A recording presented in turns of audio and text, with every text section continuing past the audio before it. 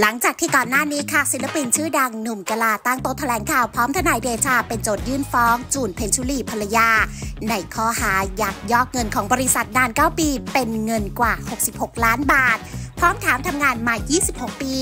เงินในบัญชีมีไม่ถึง 10 ล้าน แถมยังมีหนี้กว่า 20 ล้าน พร้อมคอมเมนต์เดือดถามหาเงินล้านเจอกันที่ศาลจนกลายเป็นกระแสที่หลายคนวิพากษ์วิจารณ์สนั่นโซเชียล เรียกว่าชวนลงไม่พักกันเลยทีเดียวค่ะ ล่าสุดค่ะ ชาวเน็ตแห่แชร์คลิปในรายการรถวิวา EP 7โดยในบางช่วงบางตอนมิกกี้นชัดได้ถามแจงปุณสาภรรยาของแจ๊ดชวนชื่นว่า ถ้าสมมติเลิกกันแล้วจะคืนบ้านไหม ซึ่งทางแจงค่ะตอบแบบแซบว่า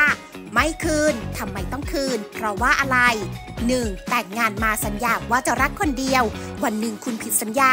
พี่แก่ขึ้น ผู้ชายหาผู้หญิงที่ไหนก็ได้ เพราะผู้หญิงสวยมีเต็มไปหมด แล้วฉันล่ะ ฉันแก่ขึ้น ฉันจะไปหาใครได้ที่ไหน งานการอะไรอีก ต้องเลี้ยงลูกอีก ผ่อนบ้านผ่อนรถ แก่ขนาดนั้น บ้านเหรอ แต่ถ้าเกิดคุณไม่ได้ทำผิด ทุกอย่างก็เป็นของคุณ